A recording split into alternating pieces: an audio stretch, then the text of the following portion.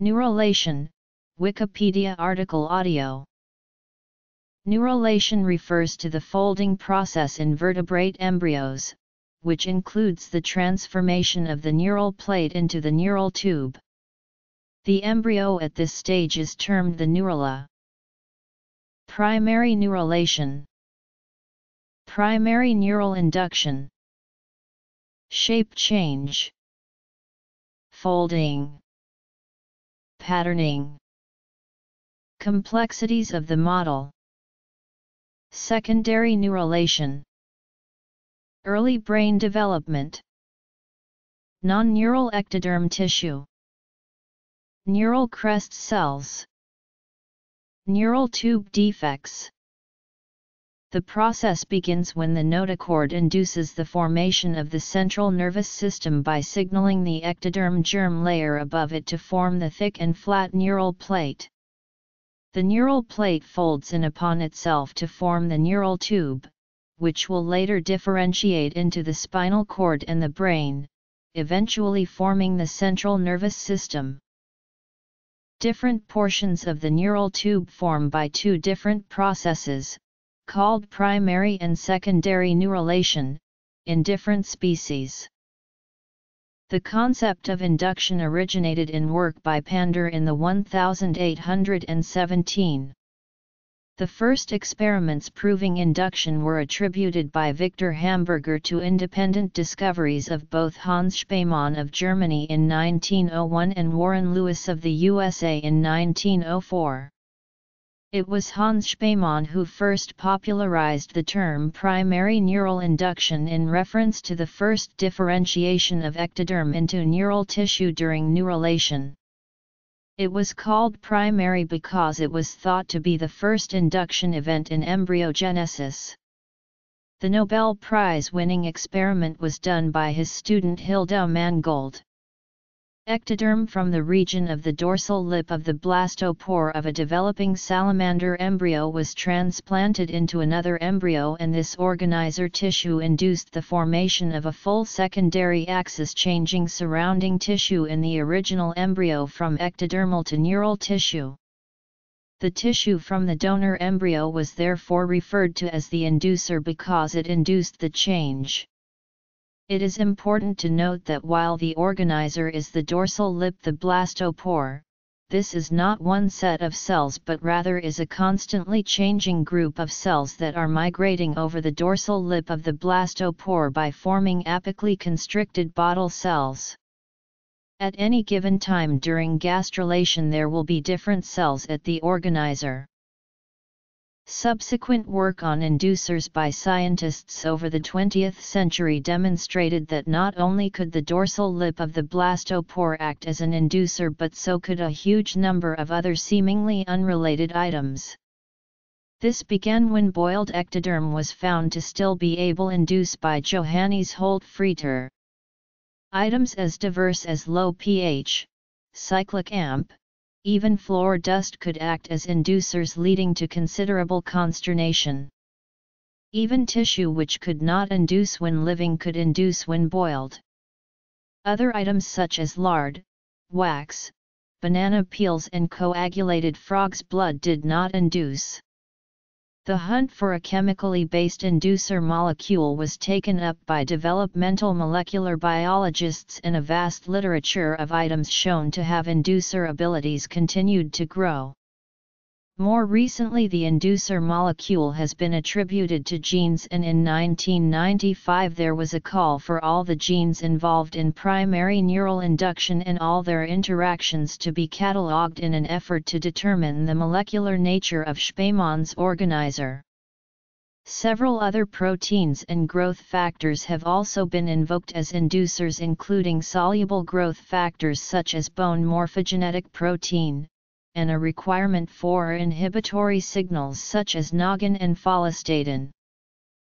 Even before the term induction was popularized several authors, beginning with Hans Driesch in 1894, suggested that primary neural induction might be mechanical in nature. A mechanochemical-based model for primary neural induction was proposed in 1985 by Brodland and Gordon.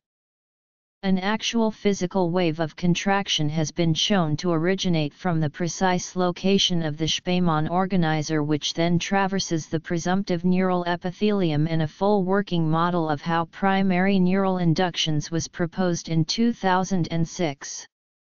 There has long been a general reluctance in the field to consider the possibility that primary neural induction might be initiated by mechanical effects. A full explanation for primary neural induction remains to be found. As neurulation proceeds after induction the cells of the neural plate become high columnar and can be identified through microscopy as different from the surrounding presumptive epithelial ectoderm. The cells move laterally and away from the central axis and change into a truncated pyramid shape. This pyramid shape is achieved through tubulin and actin in the apical portion of the cell which constricts as they move. The variation in cell shapes is partially determined by the location of the nucleus within the cell, causing bulging in areas of the cells forcing the height and shape of the cell to change. This process is known as apical constriction. The result is a flattening of the differentiating neural plate which is particularly obvious in salamanders when the previously round gastrula becomes a rounded ball with a flat top. See neural plate. The process of the flat neural plate folding into the cylindrical neural tube is termed primary neurulation. As a result of the cellular shape changes, the neural plate forms the medial hinge point. The expanding epidermis puts pressure on the MHP and causes the neural plate to fold resulting in neural folds and the creation of the neural groove. The neural folds form dorsolateral hinge points and pressure on this hinge causes the neural folds to meet and fuse at the midline. The fusion requires the regulation of cell adhesion molecules. The neural plate switches from E-cadherin expression to N-cadherin and N-CAM expression to recognize each other as the same tissue and close the tube. This change in expression stops the binding of the neural tube to the epidermis. Neural plate folding is a complicated step. The notochord plays an integral role in the development of the neural tube. Prior to neurulation, during the migration of epiblastic endoderm cells towards the hypoblastic endoderm, the notochordal process opens into an arch termed the notochordal plate and attaches overlying neuroepithelium of the neural plate. The notochordal plate then serves as an anchor for the neural plate and pushes the two edges of the plate upwards while keeping the middle section anchored. Some of the notochordal cells become incorporated into the center section neural plate to later form the floor plate of the neural tube. The notochord plate separates and forms the solid notochord. The folding of the neural tube to form an actual tube does not occur all at once. Instead, it begins approximately at the level of the fourth somite at Carnegie stage 9. The lateral edges of the neural plate touch in the midline and join together. This continues both cranially and caudally. The openings that are formed at the cranial and caudal regions are termed the cranial and caudal neuropores. In human embryos, the cranial neuropore closes approximately on day 24 and the caudal neuropore on day 28. Failure of the cranial and caudal neuropore closure results in conditions called anencephaly and spina bifida, respectively. Additionally, failure of the neural tube to close throughout the length of the body results in a condition called rachischisis. According to the French flag model where stages of development are directed by gene product gradients, Several genes are considered important for inducing patterns in the open neural plate especially for the development of neurogenic placodes. These placodes first become evident histologically in the open neural plate. After sonic hedgehog signaling from the notochord induces its formation, the floor plate of the incipient neural tube also secretes SHH. After closure, the neural tube forms a basal or floor plate and a roof or alar plate in response to the combined effects of SHH and factors including BMP4 secreted by the roof plate. The basal plate forms most of the ventral portion of the nervous system, including the motor portion of the spinal cord and brain stem. The alar plate forms the dorsal portions, devoted mostly to sensory processing. The dorsal epidermis expresses BMP4 and BMP7. The roof plate of the neural tube responds to those signals to express more BMP4 and other transforming growth factor beta signals to form a dorsal slash ventral gradient among the neural tube. The notochord expresses SHH. The floor plate responds to SHH by producing its own SHH and forming a gradient. These gradients allows for the differential expression of transcription factors. Neural tube closure is not entirely understood. Closure of the neural tube varies by species. In mammals closure occurs by meeting at multiple points which then close up and down. In birds neural tube closure begins at one point of the midbrain and moves anteriorly and posteriorly. In secondary neurulation, the neural ectoderm and some cells from the endoderm form the medullary cord. The medullary cord condenses, separates and then forms cavities.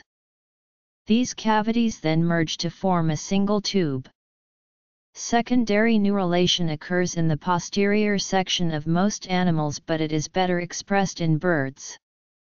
Tubes from both primary and secondary neurulation eventually connect.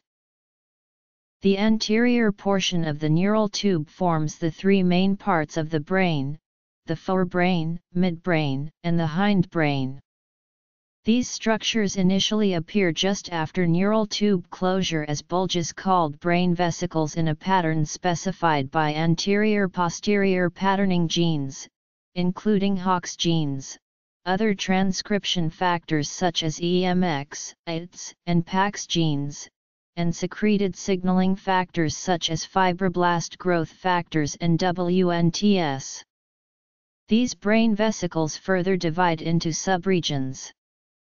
The prosencephalon gives rise to the telencephalon and diencephalon, and the rhombencephalon generates the metencephalon and myelencephalon. The hindbrain, which is the evolutionarily most ancient part of the chordate brain, also divides into different segments called rhombomers. The rhombomers generate many of the most essential neural circuits needed for life, including those that control respiration and heart rate, and produce most of the cranial nerves. Neural crest cells form ganglia above each rhombomer. The early neural tube is primarily composed of the germinal neuroepithelium, later called the ventricular zone, which contains primary neural stem cells called radial glial cells and serves as the main source of neurons produced during brain development through the process of neurogenesis. Paraxial mesoderm surrounding the notochord at the sides will develop into the somites. Masses of tissue called the neural crest that are located at the very edges of the lateral plates of the folding neural tube separate from the neural tube and migrate to become a variety of different but important cells. Neural crest cells will migrate through the embryo and will give rise to several cell populations, including pigment cells and the cells of the peripheral nervous system. Failure of neurulation especially failure of closure of the neural tube are among the most common and disabling birth defects in humans, occurring in roughly 1 in every 500 live births. See neural tube defects. In primary neurulation, the neural plate creases inward until the edges come in contact and fuse. In secondary neurulation, the tube forms by hollowing out of the interior of a solid precursor.